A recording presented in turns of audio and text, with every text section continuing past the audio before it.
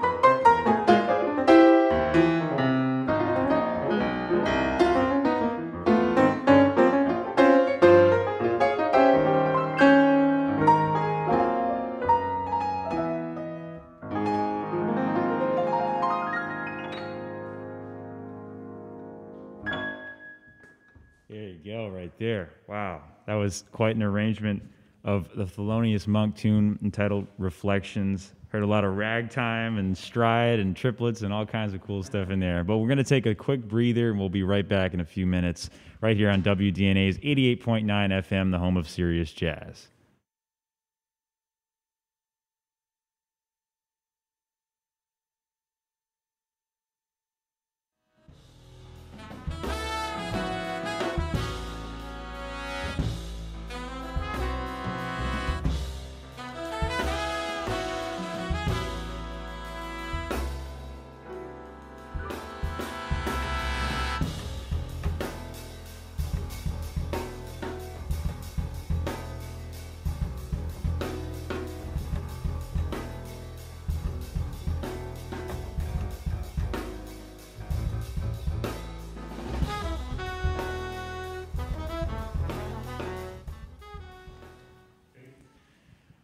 Hello again. Welcome back to this week's edition of the Frost Jazz Hour right here on WDNA's 88.9 FM. You can also actually watch the show, I believe, on WVUM. There's a now collaboration between uh, our station here and the station at, at, the University of Miami, thanks to Philip Capuzzi, a student at, at UM um, bass and cello, great, great musician. So you, you can, I believe, watch this show also on 90.5 FM, if I'm, if I'm not mistaken. But um, we're back here with Professor Martin Bejerano. He's the head of the uh, jazz piano department at the University of Miami. Has worked with people like Roy Haynes, Christian McBride, Ignacio Berroa, Russell Malone, and, and the list goes on and on. So, Martin, thanks again for being here with us and for bringing your great music to, to the stage here. Well, thank you so much for having me. It's always, I always love coming here and playing at DNA. So, thanks. Yeah, yeah, and they love having you, I'm sure. So, so um, I, you know first off, because you've you've played with so many artists over the years, um, you know, I wanted to, to ask if you maybe could name a single moment or a performance that have stu- has stuck with you throughout your career. I mean, you you know, there's so many probably moments you could name, but if there was one that's just that you always have remembered it, you know, throughout your career, what would it be? Wow, that's a that's a tough one. Um, let me think. Um, well, probably one that really really sticks out quite a bit is uh, was a concert with Roy Haynes Quartet. Um, maybe about I don't know two years after I started playing with the band, and it was a really wonderful show that was at um, um, uh, the, uh, Alice Tully Hall in Lincoln Center, which is a beautiful hall. I just moved to New York really about not even three years before that, and um, we played a set and then Roy played a set with Chick Corea and um, maybe, I can't remember who the bass player was. Maybe it was Dave Holland. I, I'm, I do not remember. Mm.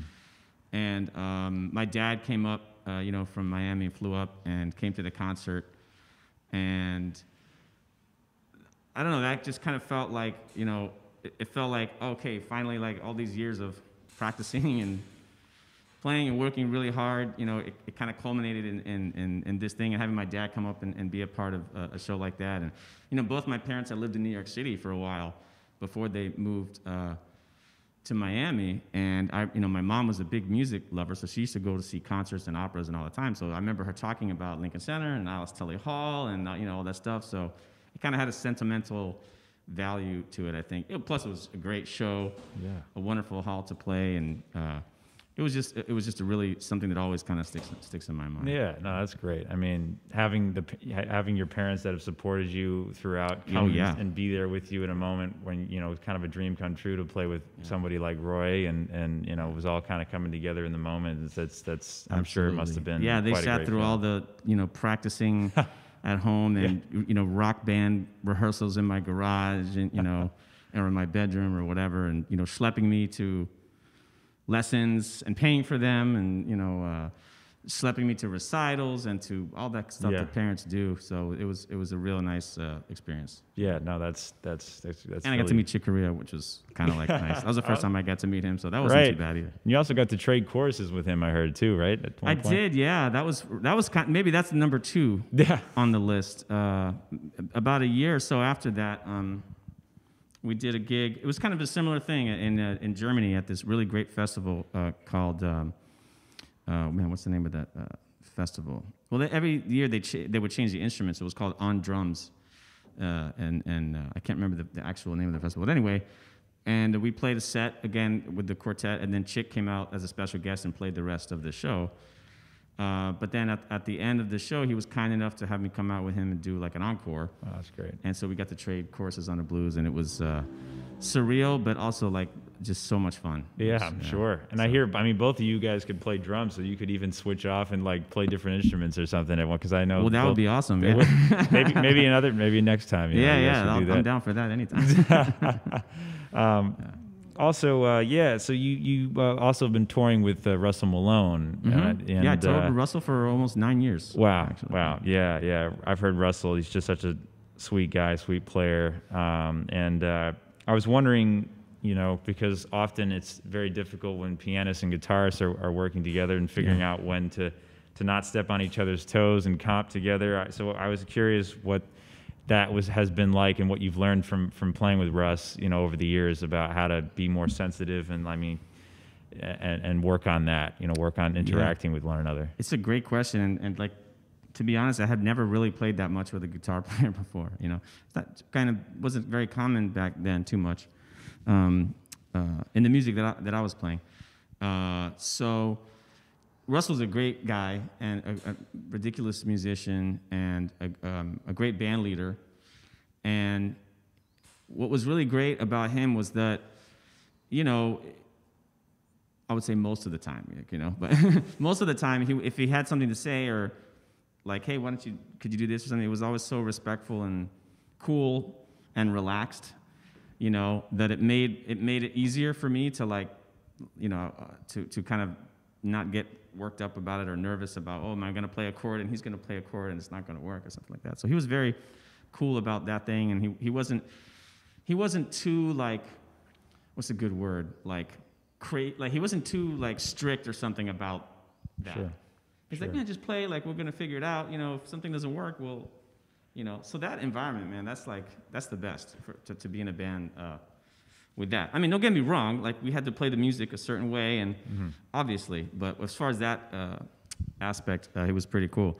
And it really just came to a point of re- just listening really hard, which is something that you know, as we talked about in, in when we, I worked with your wonderful group last semester and with other groups in the schools, like it really always boils down to listening Seriously. listening and reacting and making choices based on what's happening around you, not what you maybe usually would play or typically would play or are comfortable with playing. So it really meant kind of, uh, you know, being able to play things that I would usually play a certain way and change them and play in a very different way so that it would work with the two uh, chordal instruments. Sure. He was also really cool because he didn't have a real ego about like, I'm gonna comp, you know, you know, I'm, I'm gonna be the comper or whatever. It was just kind of like very relaxed and it, it happened very naturally. So, Yeah, no, that's the and you know, that Yeah. all comes from the trust within the band too, and, and you know right, Russ knows yeah. that you know hiring you or getting you to play in his band, you know he knew that that was what he was going to be dealing with, like a lot of just Yeah. he was you know a lot of trust, and he Well, knew that- you knew what you were doing, and he's also a very tasteful player himself, and Yeah.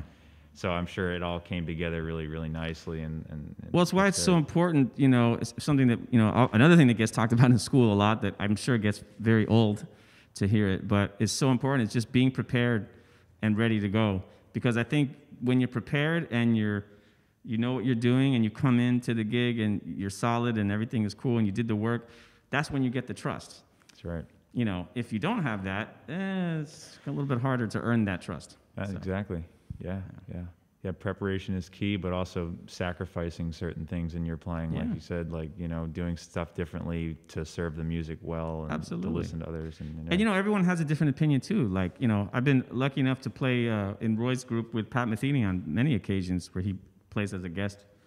And, you know, he has a, a very specific way that he likes the piano to work with him. And that's cool. You Yeah. know, that's great. Pat Metheny. you know? So, uh, so, but he told me, like, right up front, you know, hey, you know what? If it's cool, like, and again, in a very nice way, I, I kind of like to do this with the piano if you if you don't mind doing this, you know. And, and I said, absolutely, of course. And then it made it made it took the guesswork out of it, which is very nice, you know. Or, or else I'd be playing the whole time, kind of thinking like, am I comping too much, or am I playing, you know, am I not giving, you know. So having that kind of very specific, you know, uh, not rules, but whatever you want to call them, was, was very helpful because it, it, it put me in a position where okay, I know what I have to do, and then and then it's going to be fine. Yeah. So everyone's a little different. Sure. Yeah. That's the beauty of it. Yeah. Thanks. That's great. Great answers. Um, let's hear you play some more music. That's the main. That's why we're here to hear you play. So yeah, maybe play another tune for us. What what, what do you have in, in mind? Um, I'll play. Um, let's see. I'll play an, another original of mine. I'll kind of bring it bring it a little slower. Uh, this is a tune that, uh, speaking of my dad, I wrote this tune for my dad uh, Right. shortly after he passed away. Um, call, and this tune is called "Last Happy Hour." And he was uh, he had this little thing where, you know, like about 5:30, he'd be like, "Oh, it's happy hour time," you know, and he'd fix a little beverage Yeah. to drink. So uh, this one's from my dad. It's called "Last Happy Hour." All right. Take it away.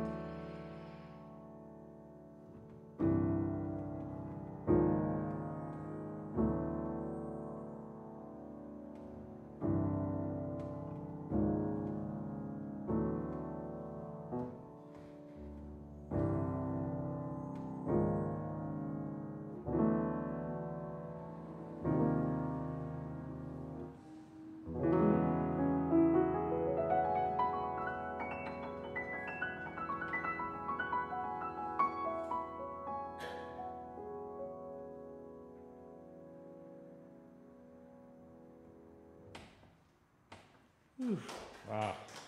Man. Beautiful tune. Incredible. Um, yeah, I heard a lot of uh, just the way the dynamics you used in that. I just really ad- admire that, and uh, kind of reminded me of. Uh, I know a big influence of yours, um, Keith Jarrett. Yeah, And just I- listening to him on the way up here, actually. yeah, yeah. No, I, I so I, I just uh, was wondering, um, you know, because of the admiration you have for him, you know, what it because I know he also 'cause I know the last tune you're gonna play may may or may not be a standard, but um, Keith Jarrett did a lot of playing of jazz standards. He stopped composing, you know, Yeah. pretty pretty early compared to most musicians. And uh, so, what? How has his way of playing standards influenced your way of, of arranging? You know, not just standards, but anything you you play. You know, um, there's two, maybe, there's a lot of things about Keith to like, of course, but maybe the two things that stand out the most, uh, and this goes for his standard playing and anything really. Um, and one is his uh, kind of like fearlessness as an improviser, you know. Um, his, uh, I, I play. I went the jazz route, you know, rather than maybe going a different route in music, because of the improvisational aspect. Because I just I love it so much, and it, it- you get a certain feeling from that that you don't get from other music. Um, and you know, some players, uh, there's all different kinds of improvisers uh, and all different kinds of players, and some people, you know, play. Uh, maybe improvise uh, and solo and and, and kind of like I don't know how to say this with in a politically correct way, but you know, kind of have a certain thing that they play. Yeah. You know, and then they, they, they come to the stage and they play it, and it's amazing and incredible, and there's nothing there's nothing wrong with that at all. But I'm very drawn to Keith's approach, which is kind of like, uh, what, let's just see what happens and let's just go for it. And you know, it's it's reflected in his trio, you know, um, which unfortunately is not playing anymore. But um, in the in the way that they just did not rehearse ever, not one rehearsal in 30 years of playing. Uh, they would meet, I think, the night before or something, have dinner, talk about the tunes, maybe say, hey, do you play an A flat on that or do you play this? You know. Um, and then there was no discussion of like how we're going to play the standard or we're going to do this tempo or that. They would just start playing.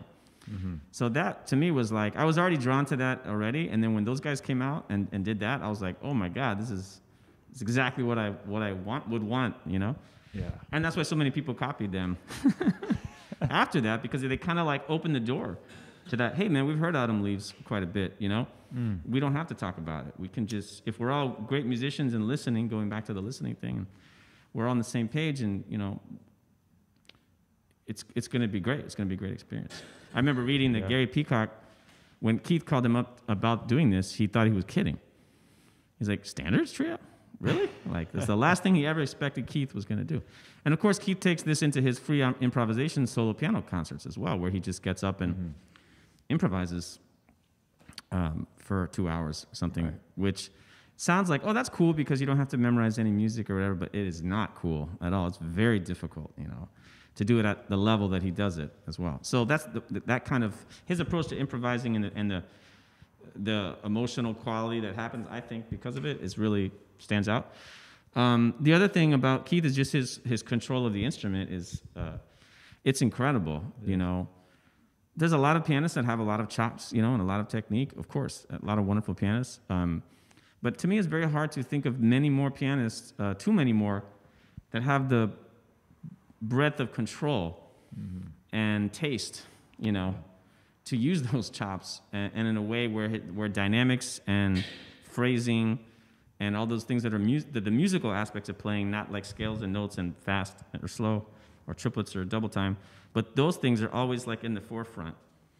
You know, um, so that's something I really tried very hard. It's not easy all the time, but I really tried very hard to kind of like um, follow that way of thinking in, in, in my playing. You know, kind of go for it on the improvisation tip, and always have you know things like dynamics, expression, and all the things that are involved in playing that at, at, at the very top of, of what my focus is. So it doesn't Yeah. always happen, but That's that's a lot of great stuff in there uh, for anybody who's who's listening. You know, just remember those things to to really not be afraid to go for something and and do something kind of ad lib. You know, that's what jazz is. It's like you can't, Yeah. you know, you can only rehearse so much, and sometimes it's like you over rehearse, and then it can just Yeah. cause a lot of issues and a lot of overthinking and and yeah, just you know, ha- just being in the moment and going for things and trying new things out with the band, and you know, again, the trust thing and the it's it's all, but yeah, and, and also focusing on like like you said, dynamics and just the beauty of of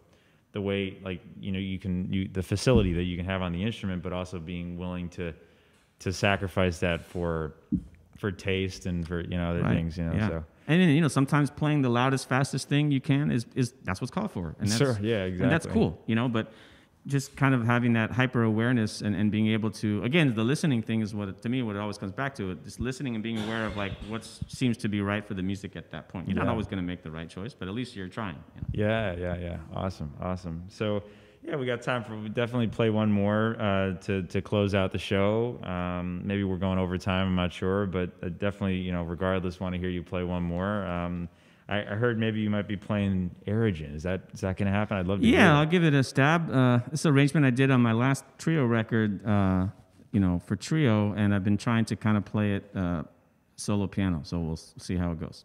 All right, here's Airegin, arranged by Martin Bejerano, right here on WDNA's 88.9 FM. And before he, he plays, just want to uh, let you guys know that next week we will have the Eric Stern Trio, one of uh, Martin's, uh, you know, esteemed students. And then the week after, we'll have uh, uh, WDNA's very own Philip Capuzzi and his group, and many more. So without further ado, one more tune here from the great Martin Bejerano, Airegin.